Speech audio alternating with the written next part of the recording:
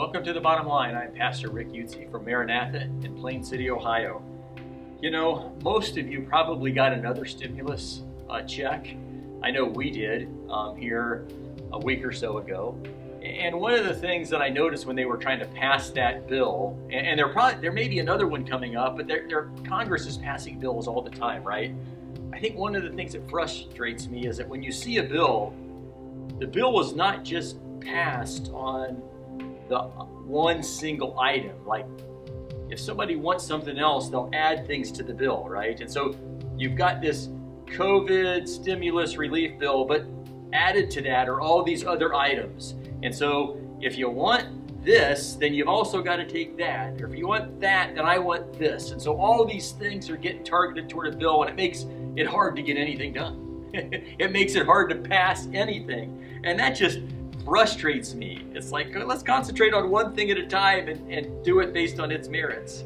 And I got to thinking about God and how He does things. And um, how is it that, that we are actually saved? If God put together a bill um, for the salvation of mankind, for the salvation of you and me, for, for our salvation, and by the way, He did, there is a, a redemption plan, and it's through Jesus Christ. But but what if he said, you know what? Yes, I got a plan. I'm going to send my son, and he's going to die on the cross, and it's going to be by his blood they're saved. But not only that, but not only not only do they have to accept that and accept that I'm good, but they also have to do this. Like they have to do X, they have to do Y, they have to do Z. So if they if they accept me and my goodness and the plan I had for them, plus part of that plan is also for them to earn it on their own merit, doing their own thing, right? And it's like, okay, how would we ever know whether we've done enough, right?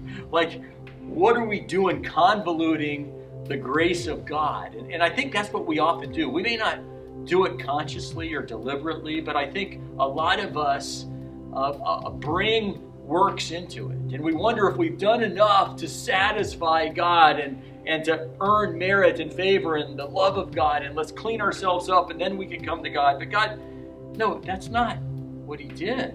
He knows we can't do it on our own. And He sent His only Son.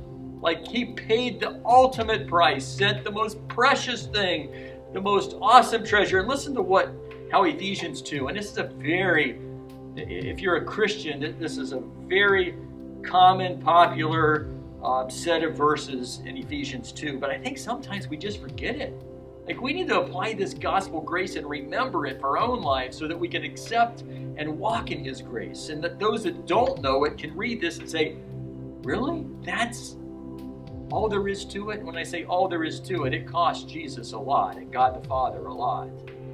And to us, it, it's free, but it's a gift we have to accept. And that's sometimes hard for us to do. We want to earn it and, and think that there's something we've done. But listen to what it says. But God, in verse 4, who is rich in mercy, because of his great love that he had for us, made us alive with Christ even though we were dead in trespasses. Like the contrast of we're dead in our trespasses, but we're made alive through Christ. He raised us up with him and seated us with him in the heavens in Christ Jesus, so that in the coming ages he might display the immeasurable riches of his grace. I know one of the concerns when, when they're trying to pass a bill and, and they get so high and you look at the stimulus bill that may come that, that they may want to pass, it's $2,000. It's like, what is the cost of that? Where are we going to get the money? How can we afford that? Well, when you look at God, it's riches, it's immeasurable, an infinite store. His grace will never run out. His goodness to us it abounds in mercy. And there's just, it won't run out. And forever and ever, like we get to enjoy the treasure of His grace through His kindness to us in Christ Jesus. No other way. No other way.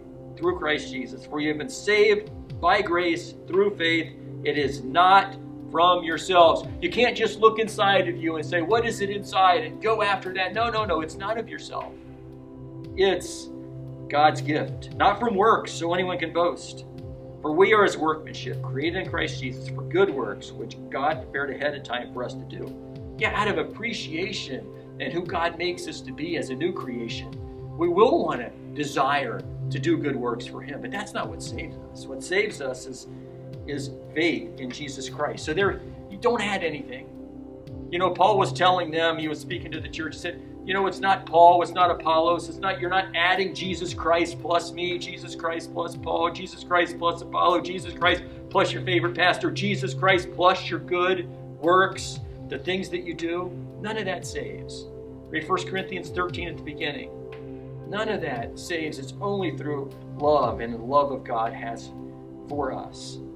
And so here's the bottom line we can only be saved and go in peace when we accept His bill of grace. And there's only one thing in that bill, and that's Jesus Christ. Let's not forget that. Thank you for watching, and I'll see you next time on The Bottom Line.